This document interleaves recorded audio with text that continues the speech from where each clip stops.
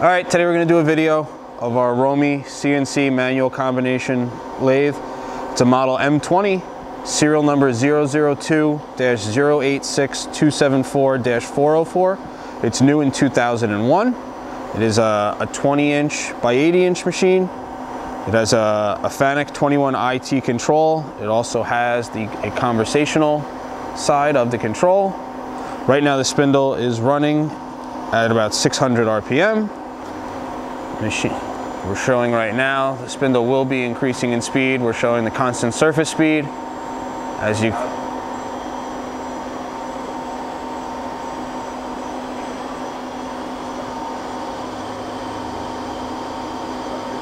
That's about 1500 RPM. The, uh, the range is from 2 to 2200 RPM.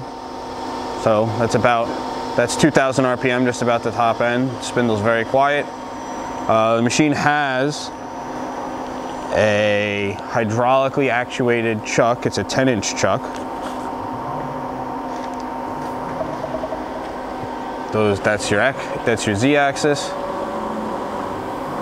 You can use the hand wheels and you can also use the the, joist, the joystick. That's your rapid. Z-axis again. That's your X. Again, electronic pulse coders on the hand wheels. And there's feeding. Both axes sound good.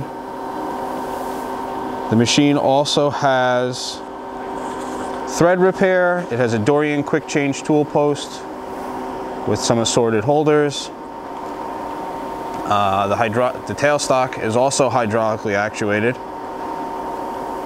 The machine comes with a steady rest, also a hydraulically, a hydraulically actuated follow rest that's not mounted with the machine right now, but comes with it.